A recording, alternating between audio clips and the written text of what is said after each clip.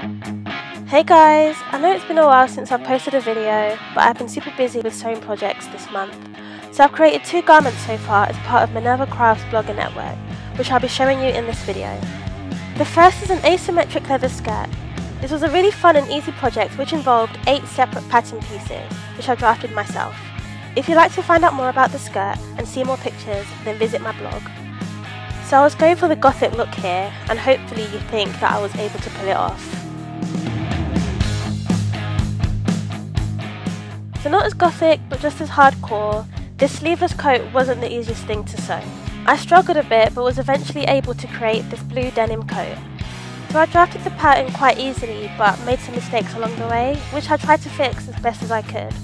I wouldn't say that I was too happy with the execution, but at least I created something that I could actually wear.